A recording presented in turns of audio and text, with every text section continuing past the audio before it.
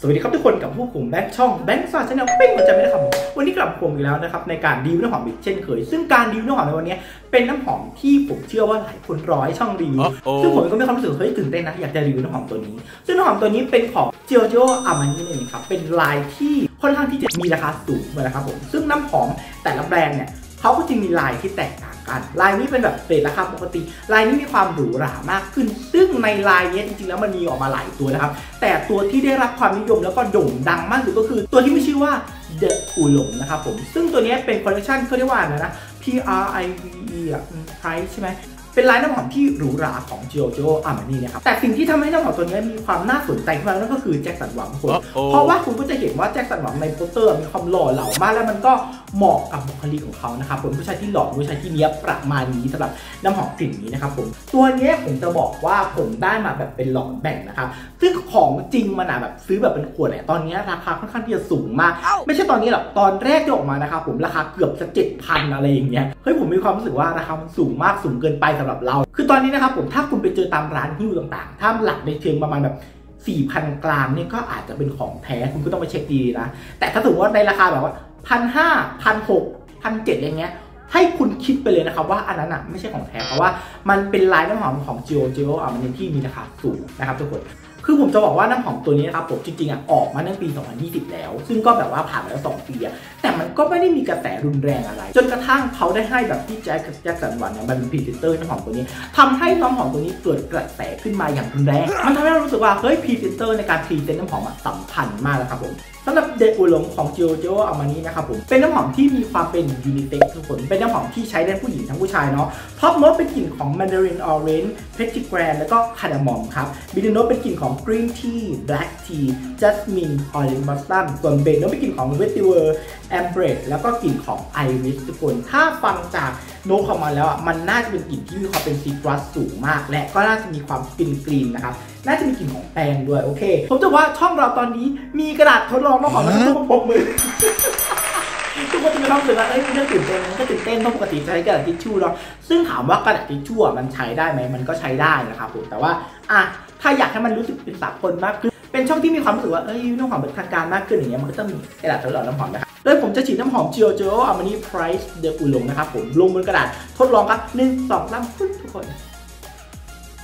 บอกไว้ก่อนนะ ก่อนที่จะมาใช้ที่กระดาษทดลองอะผมใช้กับตัวมาแล้วนะครับผมอะทุกคน เดี๋ยวผมค่อยจะพูด fun fact แล้วกันนะขอขำก่อน เพราะว่า กลิ่นเปิดมามันเหมือนอย่างหนึ่งมากเดี๋ยวจะพูดให้ฟังว่าเหมือนอะไรนะครับผมอะถ้าเราฟัง top note เขาอะมันจะเปิดมาด้วยกลิ่นที่มีความเป็น Mandarin Orange p e t r i g r a n แล้วก็ cardamom ใช่ไหมครับสิ่งที่ผมจับได้ในน้ำหอมตัวนี้คือ เปิดมาเขาจะเปิดมาด้วยกลิ่นที่มีความเป็นcitrus ทุกคน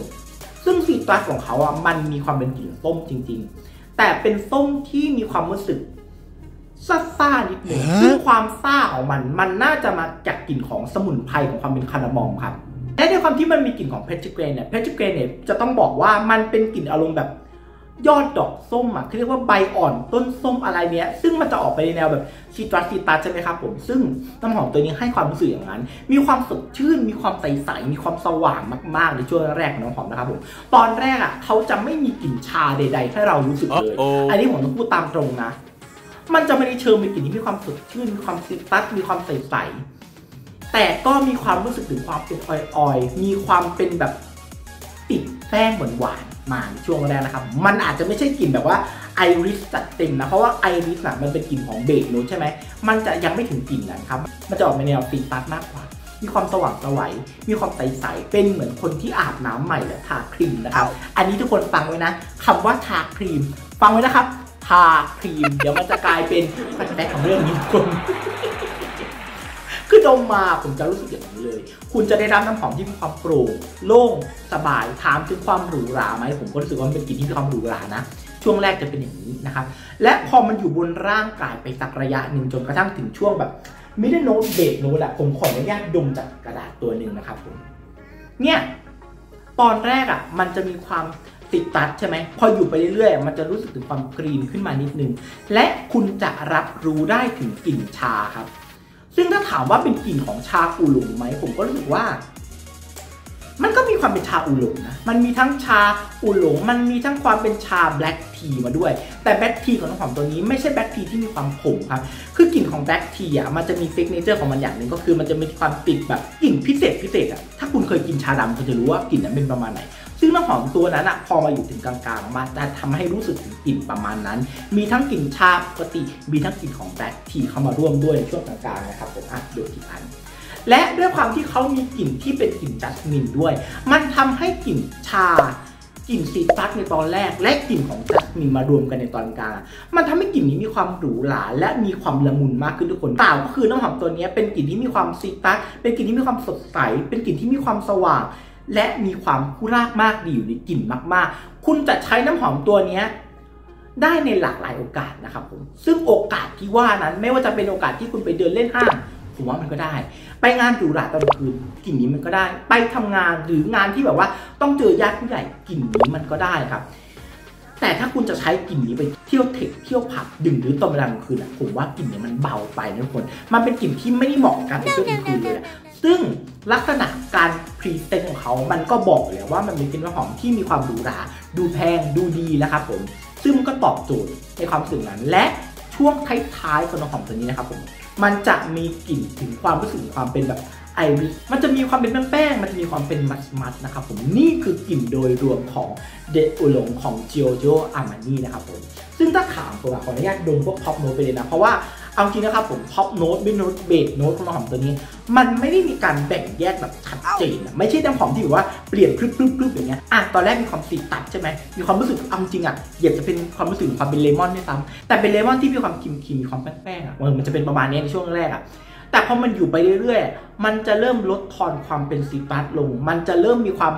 แทนที่ด้วยกลิ่นที่มีความสึกเป็นมัสมัสแป้งๆ นี่คือกลิ่นติดผิวเขา และผมจะบอกว่า น้ำหอมตัวนี้ถ้าฉีดบนกระดาษหรือเสื้อผ้านะผมท็อปโน้ตของเขาที่มีความเป็นซีตรัสจนกระทั่งถึงกลางๆ ที่มีความเป็นชา มันจะอยู่ค่อนข้างนาน ถ้าอยู่บนเสื้อผ้าอยู่บนกระดาษเนี้ยแต่ถ้าคุณฉีดลงบนผิวหนังนะครับผมผมพูดตามตรงน้ำหอมตัวนี้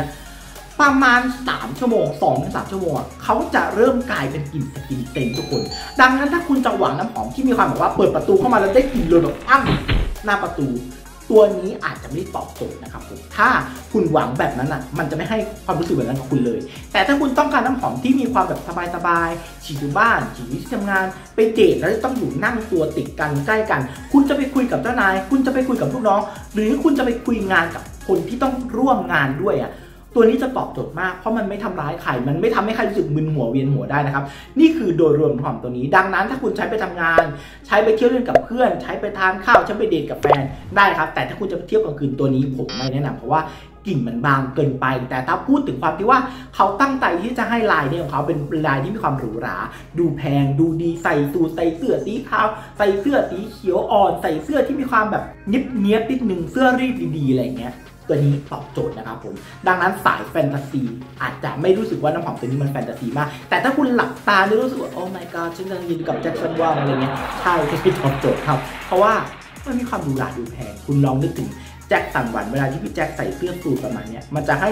กลิ่นประมาณนี้ทุกคน ผมนึกถึงแบบใส่เสื้อสีเบจกางเกงสีเบจอะไรอย่างเนี้ยนะซึ่ง fun fact ผมพูดเลยนะ ถ้าผมพูดมาขนาดนี้ ถ้าคุณอยากรู้ว่าน้ำหอมตัวนี้เป็นอย่างไรตั้งแต่ต้นจนจบหนึ่งแหละ ถ้าคุณอยากรู้ว่ามันเปิดตัวมากลิ่นแบบไหน ให้คุณลองไปหยิบเมคอัพรีมูเวอร์ของGarnier ทุกคน ถ้าคุณเคยเห็นกา r ิเย่อะที่มันเป็นสูตรสีเหลืองที่ข้างบนมันมีน้ำมันด้วยอะคุณลองเทออกมาแล้วก็แตะแตะแตะดมถือดมนั่นคือกลิ่น top note ของน้ำหอมตัวนี้ Uh-oh. ใช่เลย และพอมันอยู่บนร่างกายไปเรื่อยๆ ช่วง middle note base note อะ มันจะเป็นกลิ่นเหมือนครีมทาผิวของ กา r ิเย่ทุกคนที่เป็นสูตรสีเหลืองอะที่เราใช้กันประจำแล้วบอกว่ามันจะขาวขึ้นนะครับผมเป็นกลิ่นประมาณนั้นเลยครับ ผมอะฉีดน้ำหอมตัวนี้บนกระดาษนะครับแล้วก็เอาครีมของกา r ิเย่สูตรสีเหลืองอะทาไปเนี่ยแล้วให้น้องที่ทำงานดม แล้วน้องก็บอกว่าเออพี่กลิ่นเหมือนกัน เหมือนจริงๆทุกคนถ้าคุณชอบกลิ่นของครีมกา r ิเย่ตัวนั้นอะ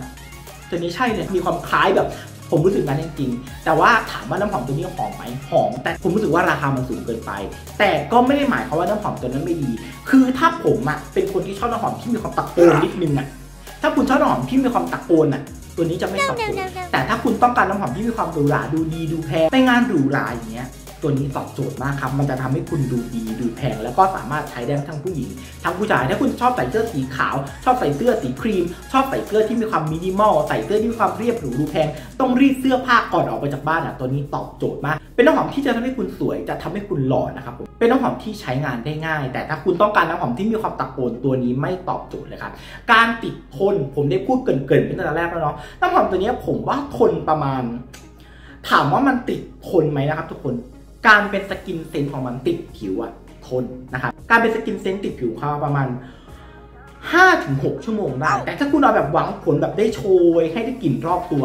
3-4 ชั่วโมง ก็เป็นความโชยที่ไม่ได้ตะโกนมาก เป็นความโชยที่มีความหรูหราดูแพงและมีความผู้ดีครับ และนี่ก็คือการรีวิวตั้งแต่ต้นจนจบจบแล้วนะครับผมสำหรับน้ำหอม Gio Gio Armani ดิตูลงเอเดตเลนะครับ ผมก็หวังว่าคลิปนี้จะเป็นประโยชน์กับทุกคนให้ชอบก็กดไลค์กดแชร์ กด subscribe ช่องผมเป็นกำลังใจให้กันแล้วอย่าลืมกดกระดิ่งให้กันด้วยนะครับผมเราจะได้กลับมาเจอกันอีกสำหรับใครที่มีคำถามเกี่ยวกับน้ำหอมตัวนี้สามารถเม้นบอกได้คุยกันได้ มีความเห็นที่แตกต่างสามารถบอกกันได้นะครับ ผมผมยินดีที่จะรับฟังทุกสิ่งทุกอย่างนะครับผมแล้วก็ใครที่เป็นแฟนคลับพี่แจ็คและอยากไปใช้ตาม ไปซื้อตาม ผมอยากให้คุณรอให้ราคามันลงไปมากกว่านี้ก่อน หรือถ้าคุณรู้สึกว่าเฮ้ย คุณฟังแล้วมันตอบโจทย์ในสิ่งที่คุณต้องการ ไม่ได้ต้องการน้ำหอมที่ความตะโกนอะไปซื้อได้ครับ เพราะว่าเป็นน้ำหอมที่หอมดีดูแพงวันนี้ผมแบบมาแล้วนะครับ สวัสดีครับ